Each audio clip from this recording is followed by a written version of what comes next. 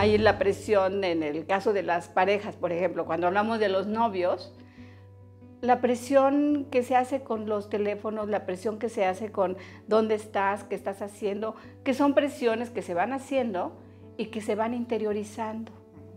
y que no se notan y que tiene que haber todo un proceso de acompañamiento, de asesoría que no se da, que no se promueve. Entonces difícilmente cuando se quiere documentar un caso o cuando se quiere denunciar, no hay manera de denunciar porque los elementos que tienes son para la, digamos, para el área donde lo vas a denunciar, son muy limitados y no te dejan, no te escuchan, te presionan y te quedas sin hacer la denuncia.